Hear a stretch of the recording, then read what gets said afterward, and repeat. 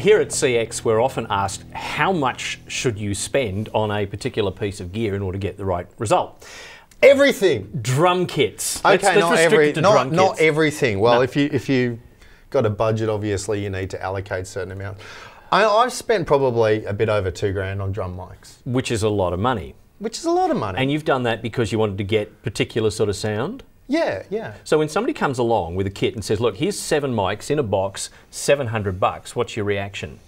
My reaction is, how good can it be? So how good can it be? Uh, in the case of the Audix FP7, it's pretty good. Okay, what did Yeah. you find? Um, well, I opened the box and found that it had you know everything I needed to mic up a kit, short of stands, um, and probably the the big winning feature for for novice users is this, which is the included how to mic up a drum kit for dummies cheat sheet. And this is this is great. Okay. This is this is this is a really really nicely optimized little piece of literature, which is going to be really helpful for a lot of people. All right, let's come back to that in a minute. Look at uh, what's in the box as delivered. Okay, what's in the box as delivered. You get a kick drum mic, a snare mic, three tom mics, and two condensers. And you also get with those the clips that are optimized. Yeah, you get these. These are D clips, they're called. They're, they're bit of an improvement on the old ones, which are a bit brittle. These are nice and sort of flexible, but they will actually hold the mic in place. Yeah, and I must say, I, I like the fact that you know these knurled knobs uh, and the fact that they feel like they are not going to break easily. Yeah. They're really decent plastic. Oh no, this is the first thing I checked. I tried to break one. Um, failed. Excellent. So oh, I failed, not, Selling not point. the clip. Yeah. Okay. So it's um, look for for the money. I think it's great value. I obviously. It's hard to know what something like this is going to be like without actually having heard it. So, Okay, so what did you do? Well, I called up my mate Mike and said, "Hey, Mike, bring your drums around." Okay. Um, so he did, and he put them here, and I put some mics on them, and uh, we recorded this.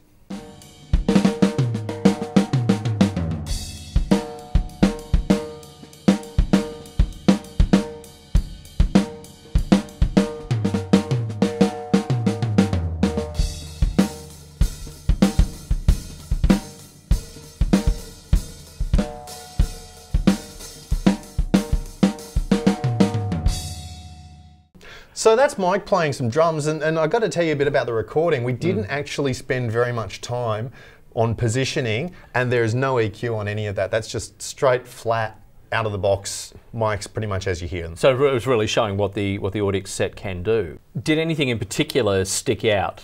Um, yeah, look, the, the condensers I think have been clearly optimized for use on a, on a drum set. Mm. Um, some of I find when I'm miking up drums, some of my condensers are a bit hot on some consoles if there's no pads in line. Yeah. Um, that wasn't a problem with these. So they're lower output. Yeah, they're lower output, which means you're going to have a bit more of a noise floor if you if you go using them on other stuff. Mm. So the condensers, I'd, I'd probably stick to just using on drums. Um, that said, the other mics are, are quite versatile, and you could conceivably use them on an array of instruments that weren't just a drum kit. Yeah, they come up particularly well in a lot of reviews, and it's really a value for money proposition.